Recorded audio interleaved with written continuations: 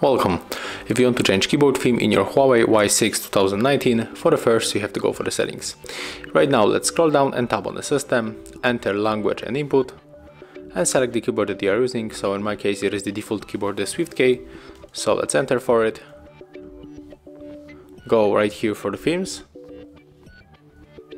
and there's the gallery of the themes that we can download, but let's uh, skip for the our themes that are available right now on the smartphone uh, so I think that I'm going to pick up this one, the dark, click on this marker and there's the preview how it is going to change and how it changed actually. So that's how it looks. Thank you guys for watching. Leave thumbs ups, comments and subscribe to our channel.